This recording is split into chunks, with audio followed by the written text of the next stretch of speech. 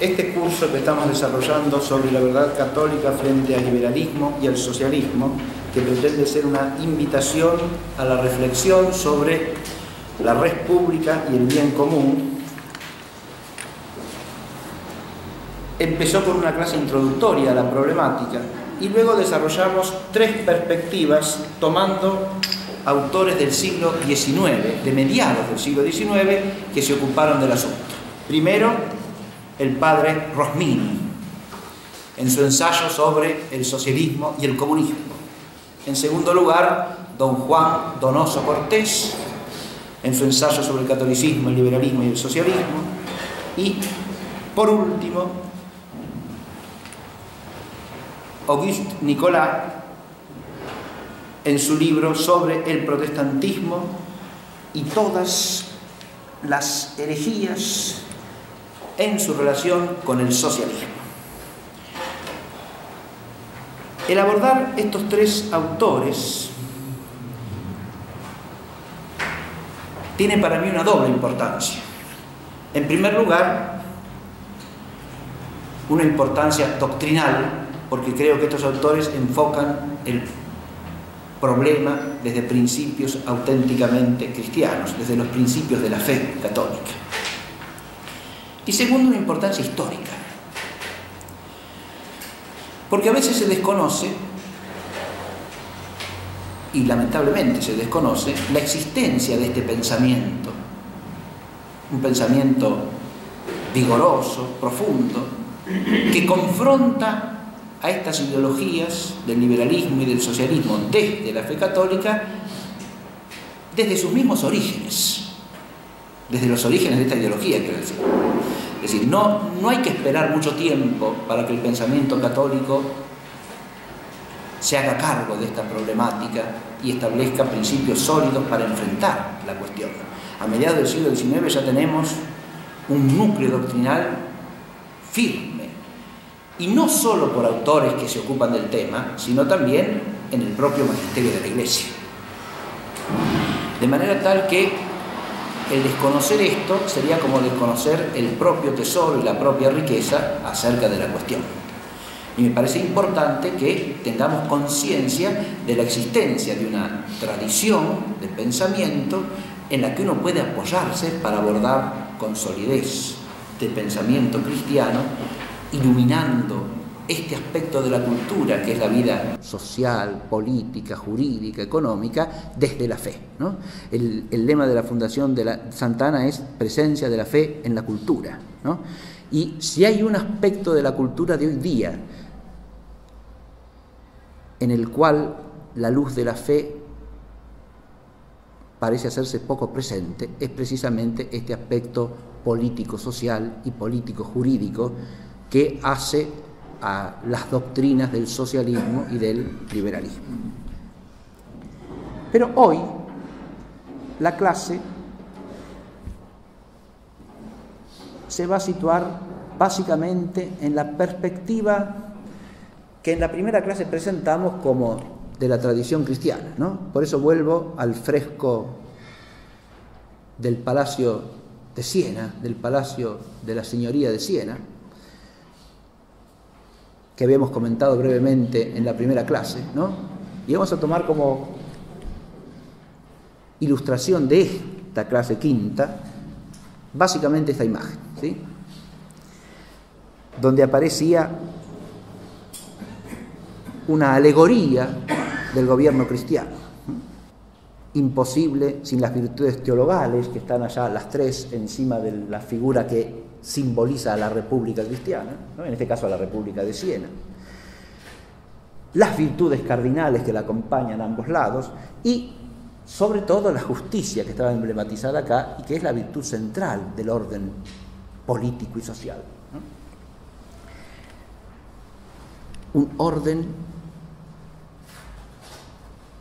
social, cristiano y auténticamente humano no puede basarse sino en la virtud. Pero si es cristiano, no son las virtudes humanas, sino en las virtudes cristianas. El tema de esta clase de hoy es la tercera posición y la contrarrevolución, vertientes de una problemática y sus equívocos. La ubicación de este tema podríamos decir que es un intento de retomar el hilo de esa reflexión del siglo XIX que hemos presentado y actualizarla para problemas que surgen después, como este de la contrarrevolución o de la tercera posición. Pero para entrar en el equívoco que estas expresiones pueden introducir, me parece que nada mejor que empezar por hacer una exposición conceptual lo más clara posible de los pseudo principios o errores comunes al liberalismo y al socialismo, porque no se puede entender en qué podría consistir una tercera posición o en qué se consistiría una contrarrevolución si no se entiende qué es lo que estas dos posiciones tienen de núcleo sólido común. Esto es lo que también suele olvidarse, ¿no? Y pareciera que la alternativa política pasa por lo uno o por lo otro. ¿sí? Bajo el nombre de liberalismo, socialismo, de derechas y de izquierdas, de conservadores y progresistas, o lo que sea. Y toda la política discurre por ese cauce. Cuando en realidad eso es la desviación y la deformación, la corrupción esencial de la vida política. Las dos cosas, juntas. Pero para verlas juntas lo importante es entender lo que tienen en común. Y esto es lo que voy a tratar de poner en la primera parte de la clase y después voy a hacer una reflexión sobre los dos temas que figuran en el título. El primer pseudo principio común es el de la disociación de lo temporal y lo eterno. Y eso es la hipoteca protestante, que como decía muy bien Nicolás, es la raíz del liberalismo y del socialismo. ¿Qué quiere decir con la disociación de lo temporal y lo eterno? ¿Qué quiere decir esto? Quiere decir que lo que hace el hombre en la vida del tiempo de este mundo no tiene en realidad relación real, no tiene nada que ver con la vida eterna. ¿Y esto es lo que, esto es lo que sostiene el protestantismo? Sí, señor. La doctrina predestinacionista del protestantismo y la doctrina de la gracia extrínseca y forínseca suponen que el hombre en sus obras no puede hacer nada que lo vincule a la vida eterna. Las obras del hombre son siempre humanas, son siempre corruptas y no pueden ser otra cosa. Entonces, en su acción, ¿a qué tiene que dedicarse? A buscar la santidad, a buscar la plenitud de la vida cristiana. Nada de eso. Todo eso es anatema para la mentalidad protestante. Tiene que dedicarse a las tareas meramente seculares que son las únicas que están al alcance del hombre. Y eso sería la verdadera humildad y la verdadera actitud cristiana. De ahí que el protestantismo promueve un macizo secularismo allí donde se implanta.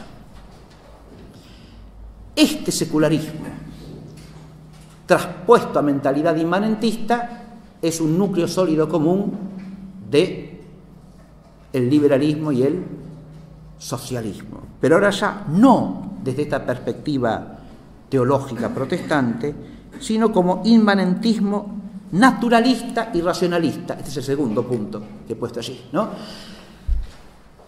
Esta disociación de lo eterno y lo temporal que va en contra de esto, ¿no? El orden cristiano temporal y el orden de la virtud cristiana, basado en la verdad y en el bien auténtico, vincula el tiempo con la eternidad. Eso es lo que desaparece en la disociación protestante. El iluminismo no hace más que profundizar esto. ¿Por qué? Porque en el fondo, como naturalismo y racionalismo que es, niega todo orden sobrenatural.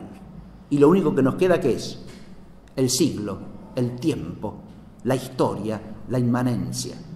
Este principio del inmanentismo naturalista y racionalista es la hipoteca iluminista en la cual se basan tanto el liberalismo como el socialismo. Este inmanentismo, fíjense, ¿qué significa naturalismo? Entender el naturalismo fundamental para ubicar tanto el liberalismo como el socialismo. Y naturalismo es el rechazo y la negación de todo el orden sobrenatural, de toda la realidad sobrenatural.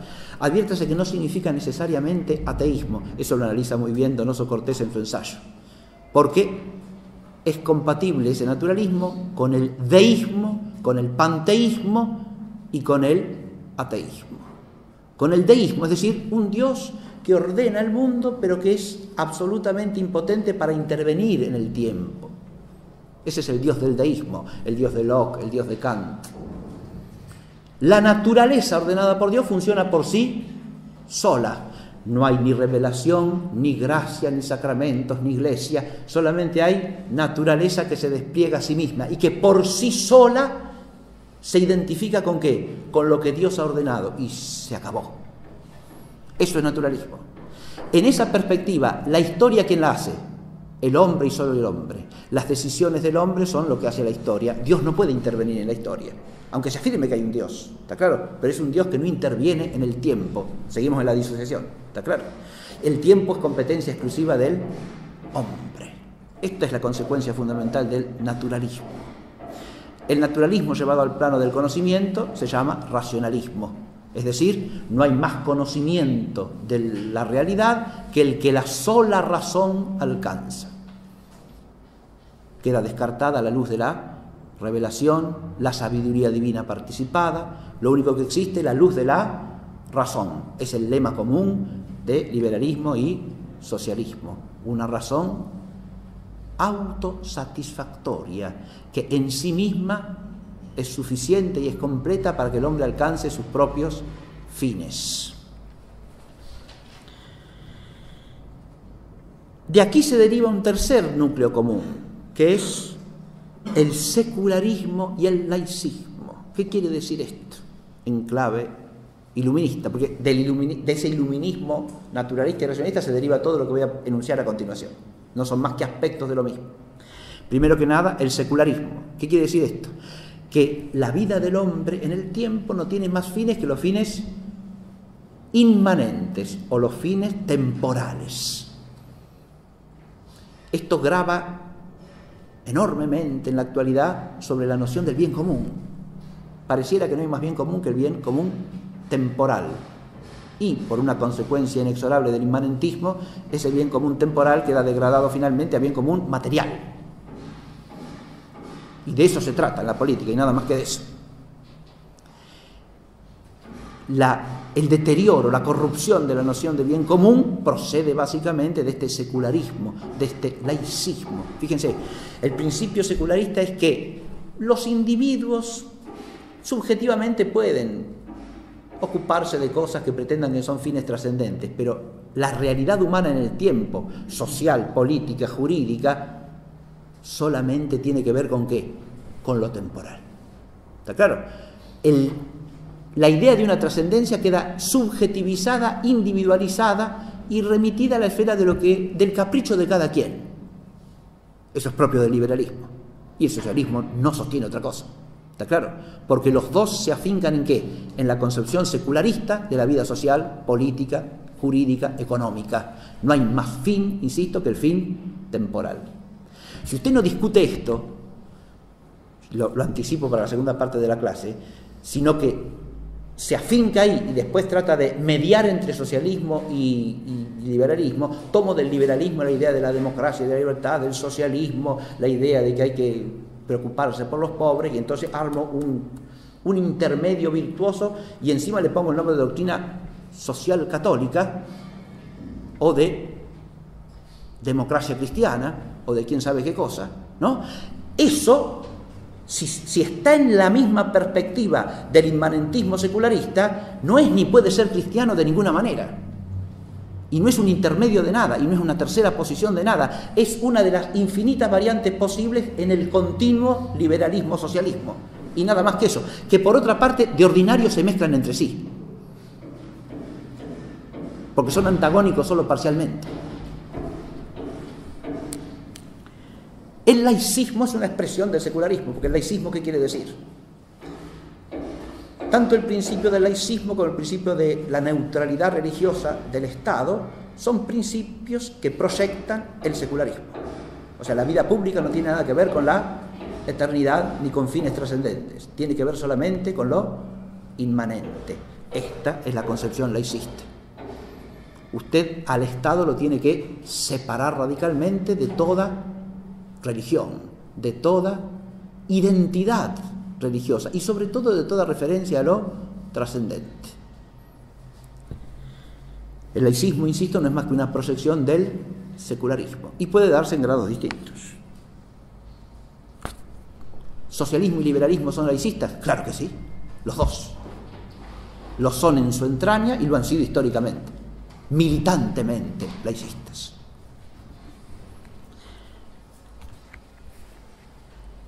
Otro elemento común, muy profundo e importante, es el concepto de la autoliberación humana. Yo en la clase pasada hice alusión a los freethinkers ingleses de finales del siglo XVII, liderados por Bolingbroke, el gran inspirador de Voltaire. Estos autores llaman libre pensadores. Libre pensador. Fíjese, cuando usted dice la palabra, nosotros estamos acostumbrados a oírla, ¿no? Un libre pensador. ¿Qué quiere decir semejante cosa?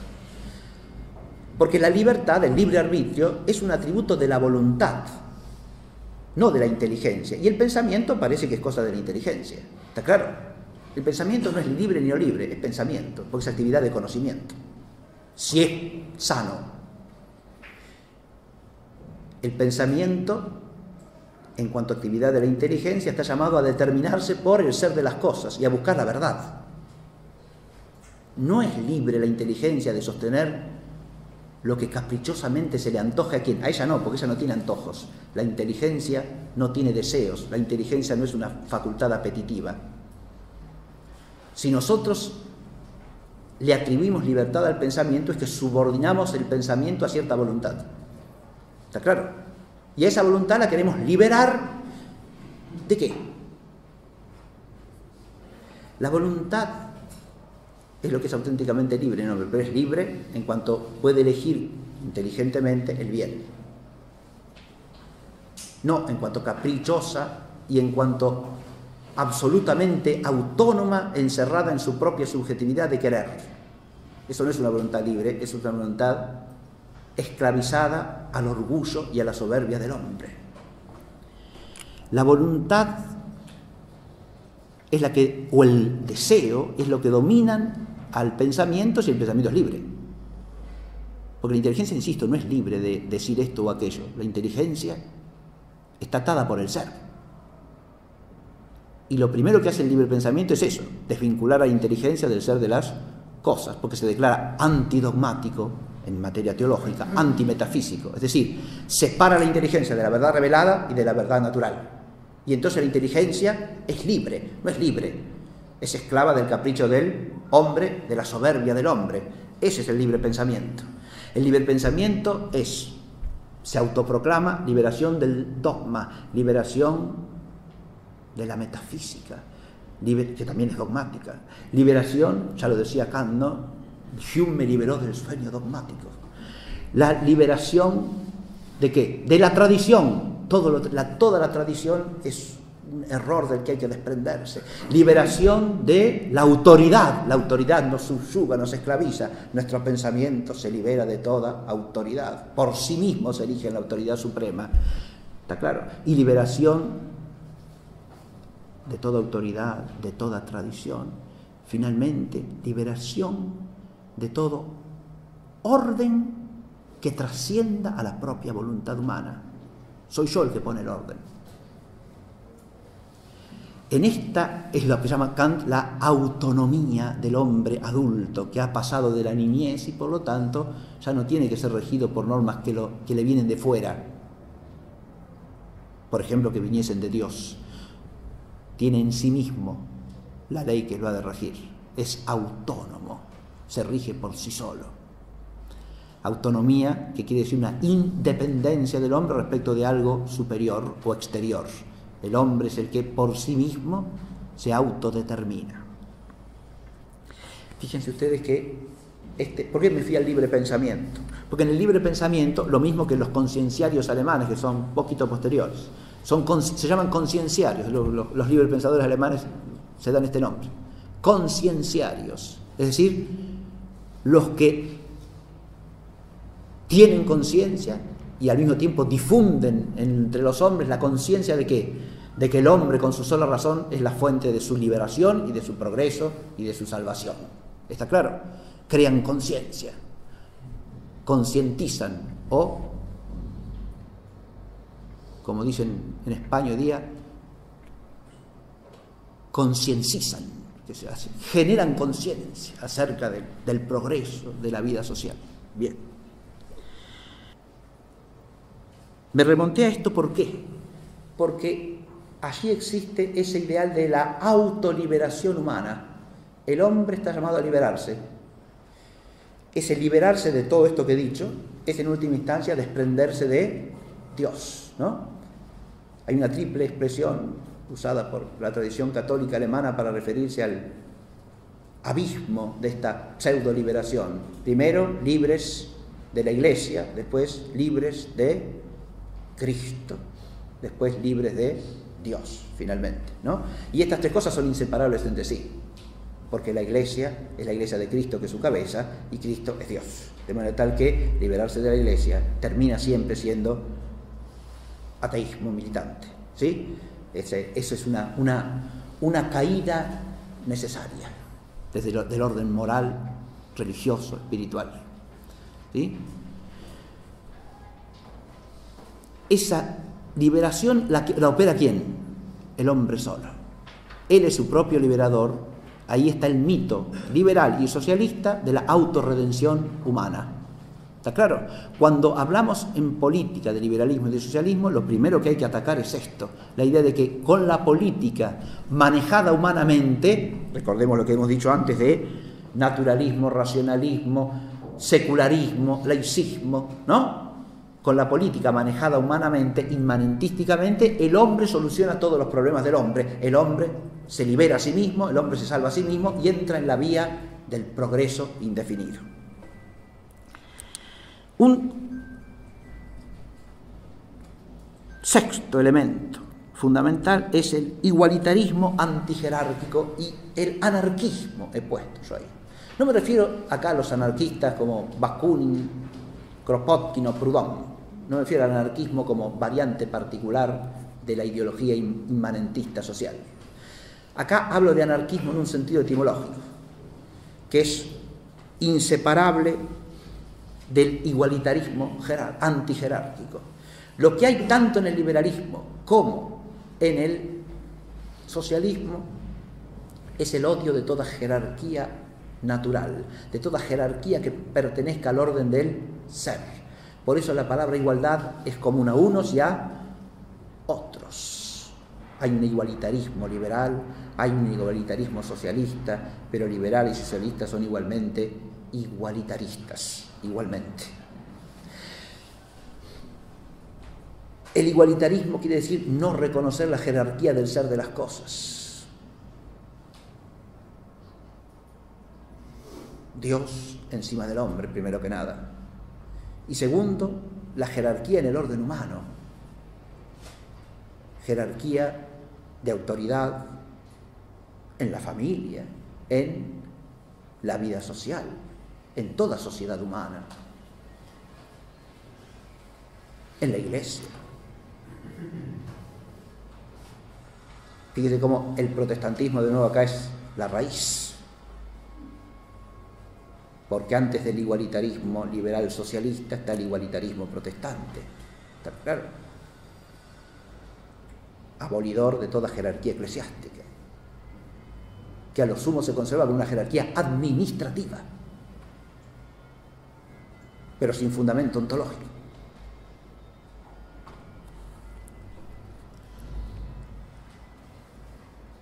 Se entiende lo que digo una jerarquía administrativa, ¿no? En la iglesia evangélica luterana de Alemania tiene gente que se llama pastores, gente que se llama obispos, pero no es jerarquía eso. Son designaciones administrativas que hace la asamblea de, los creyentes, ¿no es cierto? Para que éste cumpla esta función y esta otra función y nada más. Antes las hacía el príncipe, las designaciones, ¿sí? como la de cualquier funcionario del Estado. en el origen.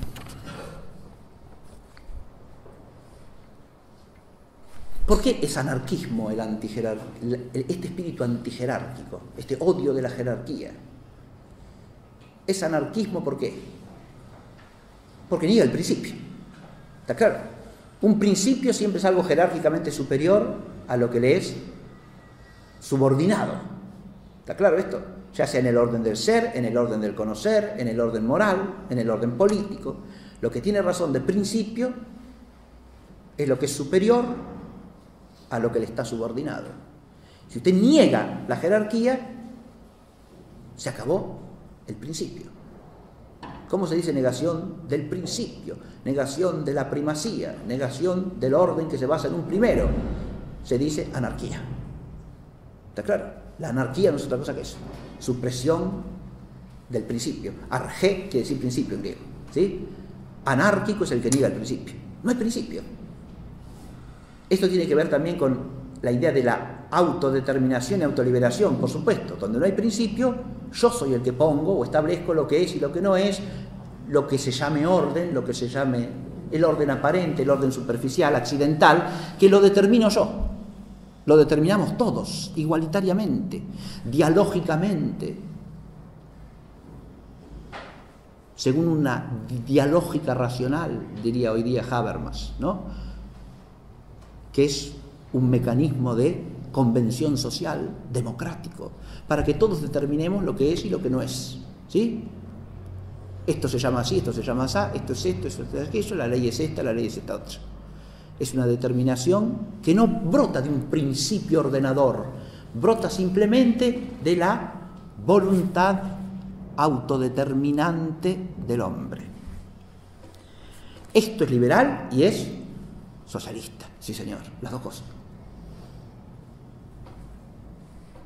Porque fíjense que ese espíritu antijerárquico de la libertad, entendida en sentido inmanentista, de la igualdad, entendida en sentido inmanentista, que no es igualdad de la dignidad personal de todos los seres humanos, es la igualdad de todos en el orden social, político, jurídico, que borra toda jerarquía. Está claro lo que digo, ¿no? Hoy día es fácil entender esto, porque hoy día vivimos las consecuencias prácticas de esto. ¿Está claro? La familia implica un orden jerárquico natural, pero hoy día eso se procura borrarlo. ¿Está claro? No hay orden entre el esposo y la esposa, no hay orden entre los padres y los hijos. No, no el orden es malo. La jerarquía es antidemocrática, es contraria a la libertad. Todos están llamados a ser absolutamente equiparados en la ley según su capricho subjetivo, hasta el punto de que cada uno puede determinar quién es o qué sexo tiene por su propio capricho o voluntad. ¿Está claro? Aún los niños también. Pero no están bajo la autoridad paterna. No, ¿cómo van a estar? El Estado los libera de eso. ¿Está claro?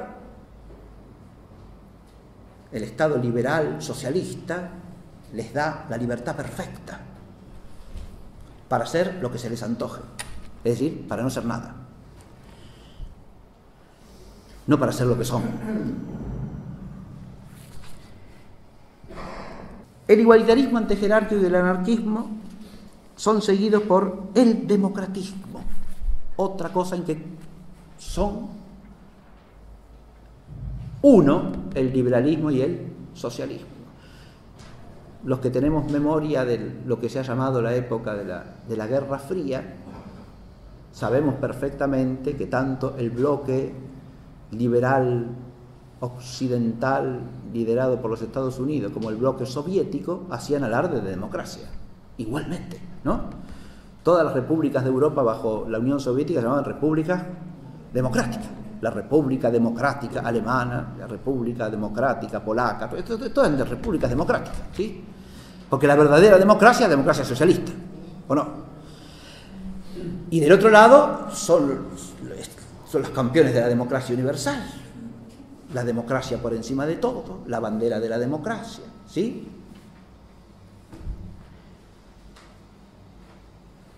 La democracia para el mundo.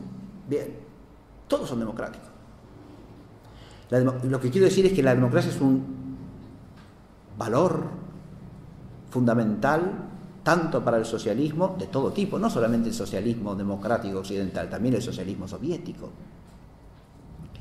y para el liberalismo. Uno puede decir, bueno, son democracias distintas. Sí, sí, sí, sí. Pueden tener diferencias. Diferencias de matiz en el tipo de organización, pero ¿en qué se basan? En la soberanía del pueblo, por eso se llaman democracia. Esta soberanía del pueblo, de nuevo, es un principio radicalmente anticristiano, porque la soberanía del pueblo entendida en sentido inmanentista, ¿qué quiere decir?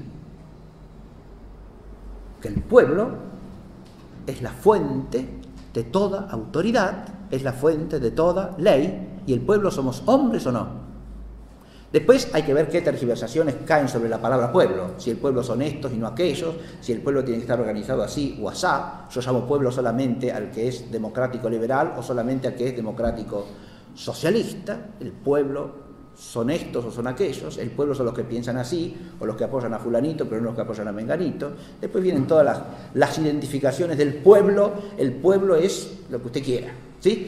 Pero el pueblo somos, lo, que, lo que es fundamental es esto, el pueblo somos seres humanos. Y si el pueblo es el soberano, estamos afirmando el principio inmanentista, antropolátrico, anticristiano, antropolátrico digo, que cae en la idolatría de la naturaleza humana, ¿no? El hombre es Dios. Antropolátrico, anticristiano, de que no hay autoridad por encima del hombre. El populismo, el democratismo son versiones de la antropolatría, porque absolutizan al hombre, bajo el nombre de pueblo, sí. Pueblo libre, pueblo social, pueblo liberal, pueblo socialista, pero el pueblo es el hombre. Y, el pueblo convertido en Dios es tan anticristiano como una élite de déspotas ilustrados convertidos en Dios. Además, las dos cosas son siempre inseparables, porque ya sea en la democracia liberal, ya sea en la democracia socialista comunista, siempre hay una disociación de la humanidad. ¿Está claro? Están los iluminados llamados a gobernar, que son los dirigentes del proceso revolucionario liberal o revolucionario socialista, y está la masa que debe ser iluminada.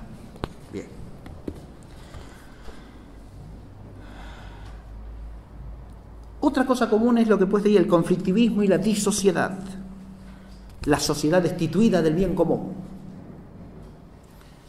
Un efecto del democratismo, del anarquismo, de la abolición del orden, de la jerarquía, ¿cuál es? Que la sociedad es concebida simplemente como un grupo de sectores en conflicto. Es decir, como una no sociedad, como una disociedad. La sociedad es la lucha entre antagonistas. ¿Esto lo plantea el liberalismo? Por supuesto, porque para el liberalismo están los arraigados a la tradición y al antiguo régimen y los partidarios de la democracia. Y entre los dos necesariamente tiene que haber que conflicto. Es el conflicto entre el liberal progresismo y el conservadurismo. Y eso es inherente a la democracia liberal, desde sus orígenes. Su primera forma en Inglaterra es una Cámara de Comunes dividida en qué? En liberales y conservadores. Y el socialismo hace lo mismo, divide a la sociedad en los unos, los partidarios del orden social transformador, progresista, y los otros, que se atienen a sus privilegios, ¿no? los defensores de los privilegios, los defensores el orden antiguo que es el orden antisocial. Y estamos en la misma. La sociedad siempre está disociada entre los revolucionarios y los antirrevolucionarios que deben ser suprimidos porque van contra la sociedad en su conjunto y contra el progreso. Hasta tal punto es eso característico de la mentalidad socialista que donde predomina una mentalidad liberal socialdemócrata, digamos así, cualquier sector que no encaje del todo en eso es a nivel público, a nivel de la consideración general, de la opinión pública circulante y bien pensante, es considerado como algo deleznable, despreciable. Así nomás. No interesa si tiene votos si no tiene votos. Lo único que importa, porque ahí se contradicen a sí mismos, pero no, no del todo, escúchenme. Eh, eh, esto lo digo pensando en el otro día estaba viendo en la, televisión francesa un programita que pues, presentan siempre libros, escritores, libros. Pero estaban presentando una novela y hablaba el, novelista con el conductor del programa y estaba explicando de qué trataba la novela, pero hablaban de cierta mentalidad política de Francia con un desprecio olímpico, ¿no? porque no era, claro, una mentalidad que no es ni liberal ni socialista, lo que llamaban ellos un, una nostalgia nacionalista antidemocrática, ¿sí? de corte neofascista. Ya con eso, una serie de anatemas que están así acumulándose, ¿no? Entonces, independientemente de lo que, de lo que hablasen, pero ya hay una, son anatemas que descalifican inmediatamente a parte de la población francesa, pero ¿por qué? Y porque no están en el pensamiento ilustrado simplemente, porque no encaja perfectamente en el esquema de la ilustración liberal socialdemócrata. Eso es todo. Bien. La disociedad es permanente, ¿sí? porque una vez que usted instaló el principio de la revolución, instaló la disociedad. Porque ahí viene el otro, el revolucionarismo, que es la radical liberación de todo lo dado. Cuando usted instala el principio revolucionario, necesariamente divide la sociedad. ¿Está claro? A partir de allí hay los unos y los otros. Eso opera per se, opera por sí solo, quiera usted o no quiera.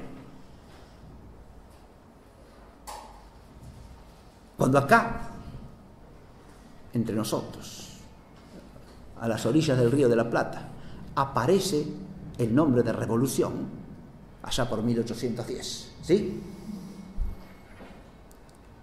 En la ciudad de la Santísima Trinidad y puerto de Santa María de los Buenos Aires. Bien, aparece el nombre de la revolución. Inmediatamente se genera la disociedad. Si ustedes estudian la historia del reino de Indias en el Plata, en lo que fue primero la gobernación de Buenos Aires, después el virreinato del Río de la Plata, parte del virreinato del Río de la Plata. La sociedad, con toda su complejidad y riqueza, de gentes de distinto origen étnico, de distinta tradición cultural propia y específica, a pesar de los conflictos particulares que pudiese haber, es una sociedad. Es una totalidad que tiene unidad, armoniosa, en pos del bien común y tiene paz social. ¿Está claro lo que digo? A partir de 1810 que viene una continua sucesión de guerras, de golpes de Estado, de inestabilidad constante, pero además de qué? De tirios y troyanos. ¿Sí? Los unos y los otros, dentro de la misma sociedad. Por eso lo primero que genera es una guerra civil. Porque se llama guerra de la independencia, es primariamente una guerra y una guerra civil. ¿Qué va a ser? ¿Está claro?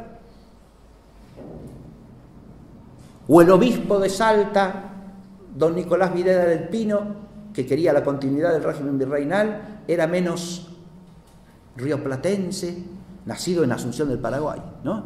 Era menos rioplatense que don Manuel Belgrano, nacido en Buenos Aires, que iba con el ejército mandado por la Junta a reprimirlo y que lo encarcela y lo manda preso. ¿Qué es eso si no es una guerra civil? ¿Está claro lo que digo? Le insisto, el nombre de revolución introduce la disociación, lo quiera usted o no lo quiera le guste o no le guste. Porque a partir de que usted instala la mentalidad revolucionaria, se sigue que la humanidad se divide entre los que están con la revolución y los que están contra la revolución. Esa división que solamente vale dicha por el verbo hecho carne. El que no está conmigo está contra mí. ¿Está claro? Eso se lo arrogan los hombres, un grupo de hombres, como si ellos fuesen Dios. Y ese es el espíritu de la revolución.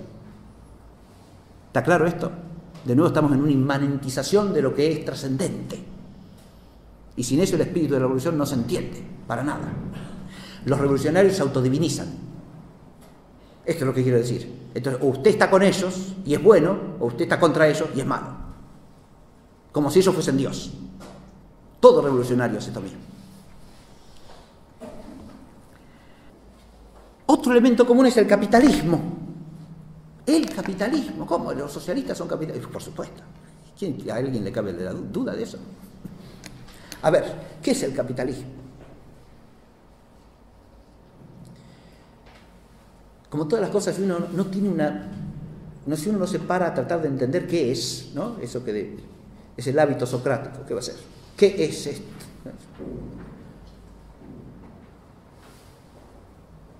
Si uno se pone a pensar qué son las cosas, usa las palabras sin saber lo que dice. Esa es la realidad.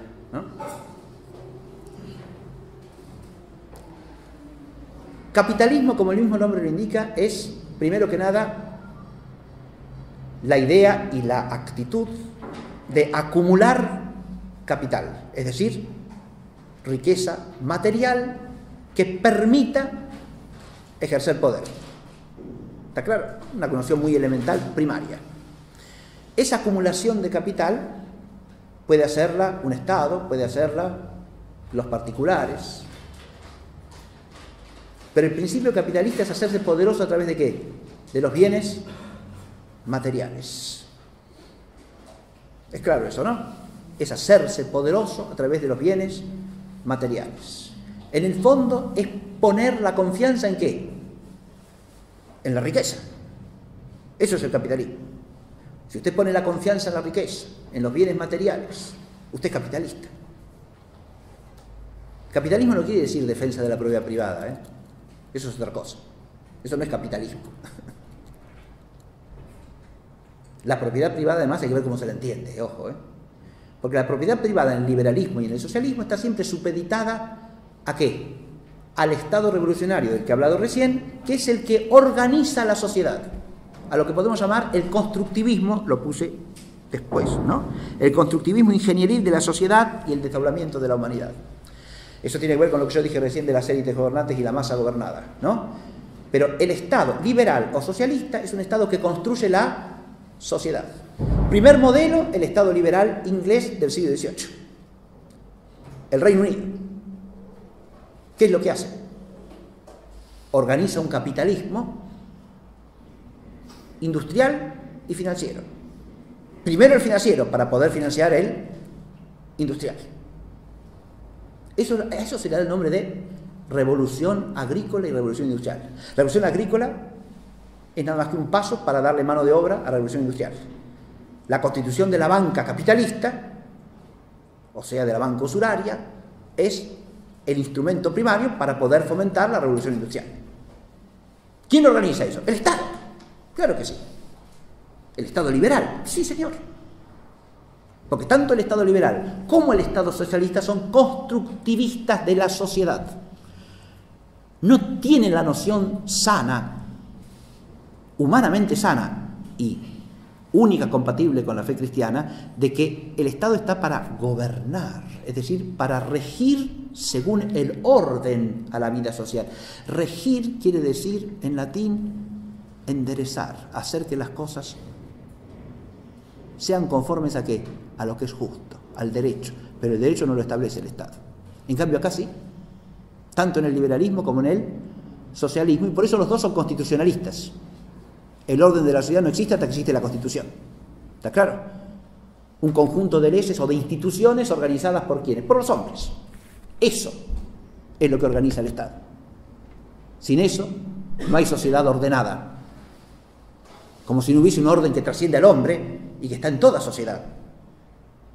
La ley natural desaparece. La ley eterna, divinamente revelada, ni hablemos. Desaparece y todo es sustituido por qué? Por una constitución establecida por los hombres, sea el régimen liberal inglés, sea el régimen de los soviets de obreros y campesinos liderados por el Soviet Supremo de toda la Rusia. ¿Está claro? El régimen que establece la Constitución y que construye la vida social. Esto es común al liberalismo y socialismo. fíjense, cuando hablo de capitalismo, insisto, puede ser un capitalismo de Estado. La Unión Soviética no fomentaba un capitalismo de Estado, o, o pretendían ser pobres como Estado. Pero no, competían a nivel mundial con la gran potencia liberal capitalista.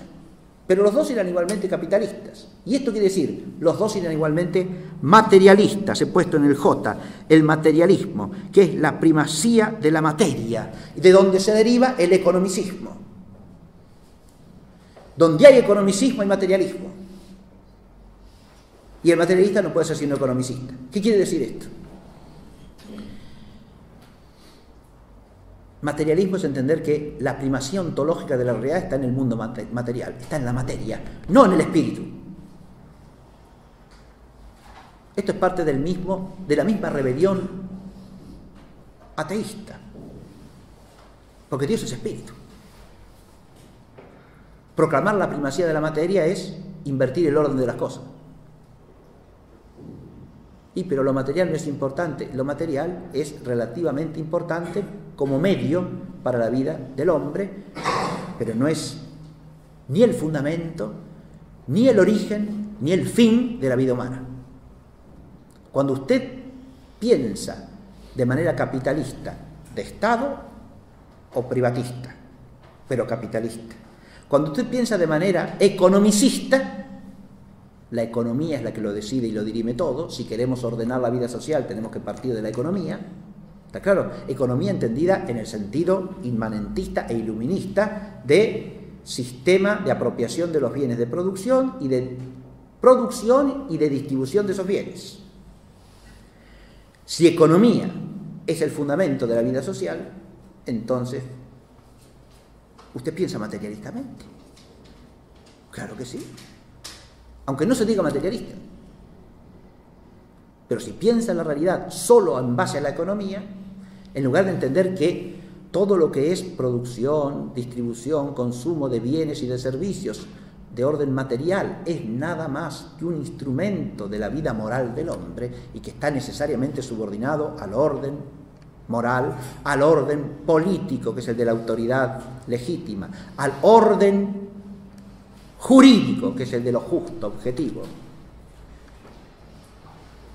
bajo la ley de Dios. Sino de entender que la primacía pasa por ahí, por la virtud, y fundamentalmente por la virtud teologal, que es la base de todas las virtudes morales. ¿Sí?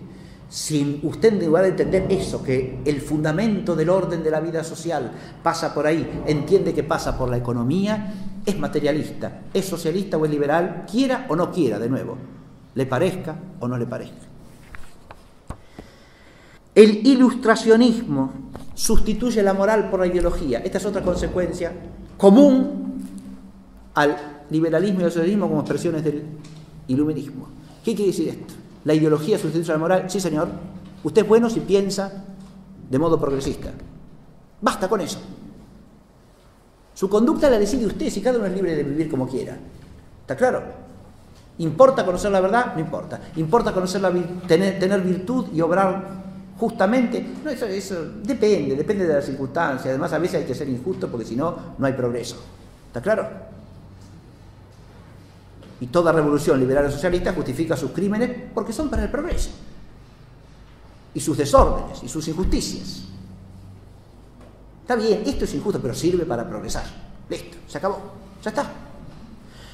Ahora, cuando usted tiene esto llamado el ilustracionismo, ¿qué es lo que hace de usted un hombre bueno?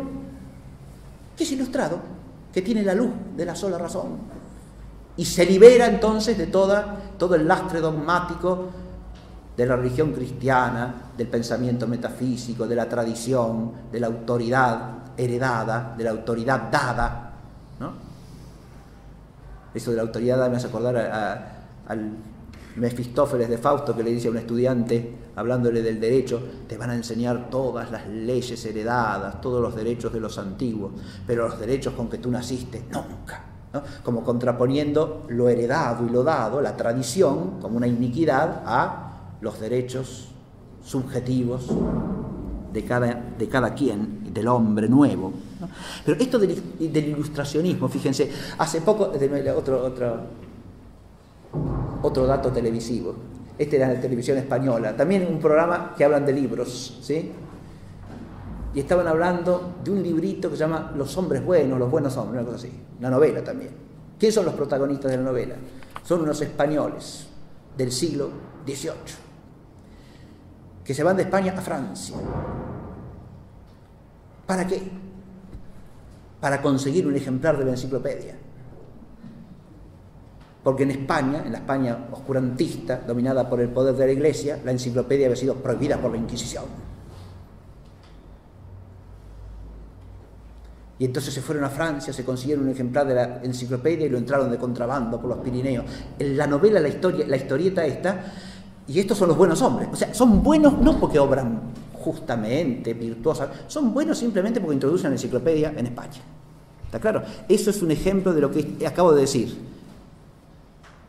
La ideología sustituye a la moral. ¿Está claro? Usted es bueno o malo según cómo piensa, no según cómo obra. La ideología sustituye a la moral. Dicho sea de paso, es cierto que la España del siglo XVIII prohibió la enciclopedia, ¿sí? Para bien de España, por supuesto, por gracia de Dios. Eso no significa que los españoles fuesen ignorantes, significa que eran inteligentes y sabios, con una sabiduría más alta que la ilustración de la enciclopedia, que es veneno iluminista.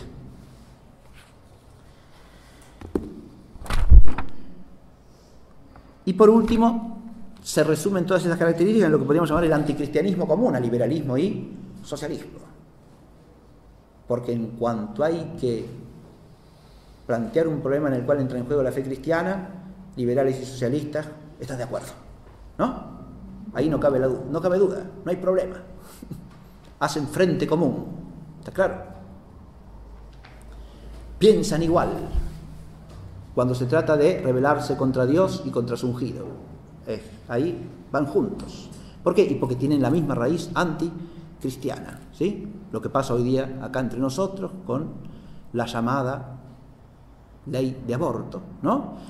Ahí socialismo o liberalismo, populismo o democratismo capitalista se ponen de acuerdo.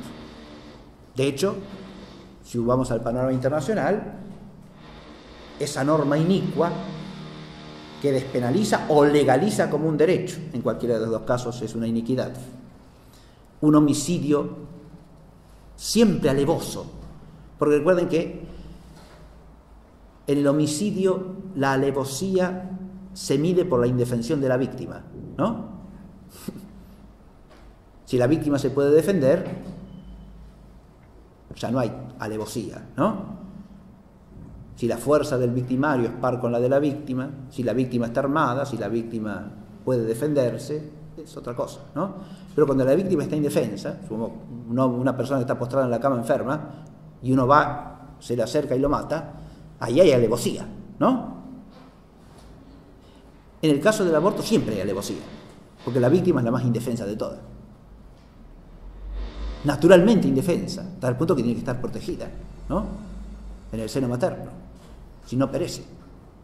Hay una indefensión absoluta. Aunque esto es claro a la luz de la inteligencia humana y del sentido común, la ideología revolucionaria lo subvierte, lo corrompe, lo discute, porque absolutiza qué? La voluntad subjetiva de algunas personas. ¿Está claro?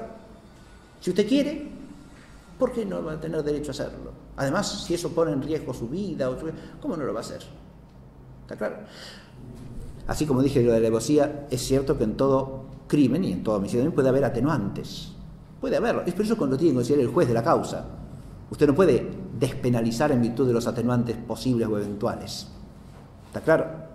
Además, ese homicidio no solo es siempre alevoso, sino que de ordinario tiene otro agravante, que es el abuso de la habilidad profesional para cometer un crimen. Porque el médico que lo realiza, o el profesional que lo realiza, en cuanto que hace eso no es médico, porque el arte de la medicina es el arte de curar, no el arte de matar. Ahora, como quien tiene el arte de curar, tiene la habilidad y el conocimiento para hacer eso, ¿no? Hasta tal punto eso es así que los antiguos griegos paganos a los médicos les hacían jurar que no iban a realizar prácticas abortivas, ¿no? Porque claro, ellos eran los que tenían la posibilidad, la facilidad para hacerlo por su conocimiento profesional, ¿o no?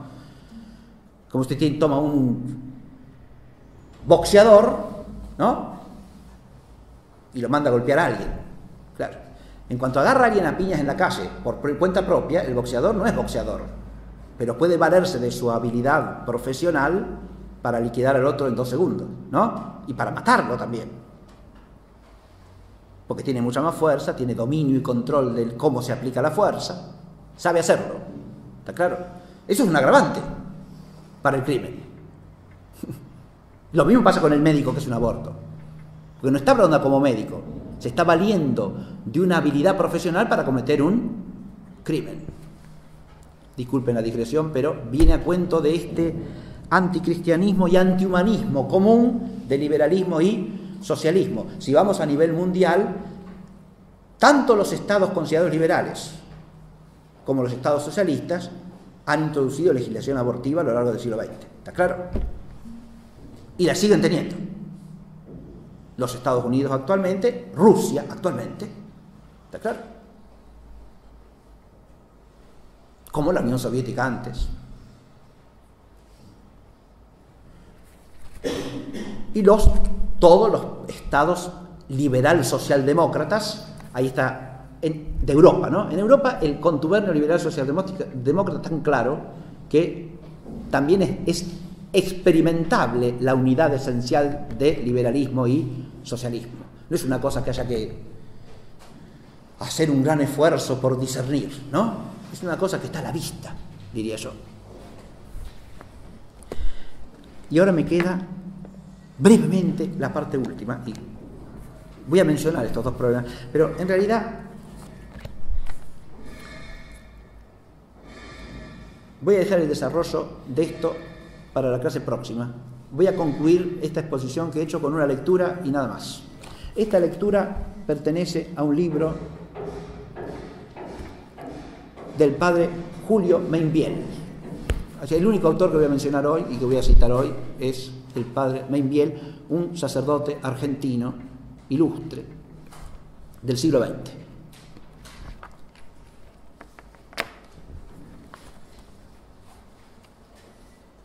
Lo que voy leer es un pasaje de un artículo que se llama La tercera posición, que figura en una recopilación de artículos de que se llama Política Argentina.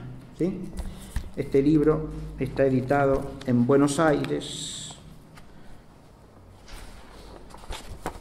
en el año de gracia de 1956.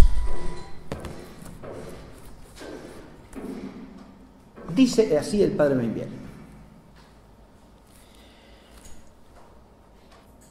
La iglesia no prometió, no prometió nunca sino una felicidad muy relativa en la vida presente. Porque la tierra es un valle de lágrimas para los ricos y para los pobres, para los sabios y para los ignorantes. No tenemos aquí ciudad permanente y corremos detrás de la felicidad absoluta que solo se nos da en la posesión indeficiente de la divina visión. Por otra parte, tanto la felicidad absoluta de la vida futura como la relativa de la presente, solo pueden ser alcanzadas si el hombre, respetando las relaciones esenciales del universo, se coloca en dependencia de las prescripciones ordenadoras de la ley natural y divina. Fíjense ustedes que si uno no empieza por acá, por disipar lo que podríamos llamar el ilusionismo inmanentista en la concepción de la felicidad humana, cualquier cosa que hable en política puede sumergirse inmediatamente en la mentalidad inmanentista corriente. ¿Está claro? Pero desde hace más de dos siglos el hombre se ha ilusionado con otra fantasía, porque como dice Pío XII en el Gran Retorno, a su real fisonomía de criatura que tiene origen y destino en Dios, se ha sustituido el falso retrato de un hombre autónomo en la conciencia, legislador incontrolable de sí mismo, irresponsable hacia sus semejantes y hacia el complejo social, sin otro destino fuera de la tierra, sin otro fin que el goce de los bienes, de los bienes finitos, sin otra norma que la del hecho consumado y de la satisfacción indisciplinada de sus concupiscencias. El iluminismo había de devolver al hombre la luz y la felicidad que le habían despojado las tinieblas medievales. Este ideal, esbozado por los filósofos ingleses Hume, Hobbes y Locke y difundido por los sofistas franceses como Montesquieu, Voltaire y Rousseau, podía expresarse en aquel compendio de principios del iluminado Weishaupt que trae el abate Barruel en sus Memoires pour servir l'histoire du jacobinisme. La igualdad y la libertad, dice así, son los derechos esenciales que recibió el hombre de la naturaleza. El primer ataque a esta igualdad fue perpetrado por la propiedad. El primer ataque a la libertad fue perpetrado por las sociedades y los gobiernos. Los únicos apoyos de la propiedad y de los gobiernos son las leyes civiles y religiosas. Por tanto, para restablecer al hombre en sus derechos primitivos de igualdad y de libertad, hay que empezar por destruir toda religión, toda sociedad civil y acabar por la abolición de la propiedad. En este enunciado está contenido, es hasta ahí Barruel, ¿no? describiendo la, la ideología de Weishaupt. En este enunciado está contenido no solo el liberalismo, sino también el socialismo. En realidad, la secta de los iluminados de Weishaupt no hacía sino renovar el programa iluminista de albigenses, cátaros, patarinos, búlgaros y vegardos, y aún de las antiguas sectas de maniqueos y gnósticos. Este programa, que constituye el fondo más profundo de las herejías, no logró categoría de reconocimiento en las sociedades cristianas, sino con el advenimiento del liberalismo y del socialismo que fue proclamado en la Revolución Francesa. Porque si bien en esta se afirmó expresamente el liberalismo del hombre burgués, también se cultivaron los gérmenes del socialismo es muy significativa la influencia de Barnab y de Babeuf en la revolución, como lo ha demostrado Faguet, Le Socialisme en 1907. Y el mismo liberalismo, tal como fue predicado por Voltaire y Rousseau, contenía el socialismo, y el socialismo de Marx y de Lenin, por su parte, contenía el liberalismo. Porque en sustancia, una misma cosa enseñan los heresiarcas de la libertad y los de la sociedad, aunque proponen métodos diversos.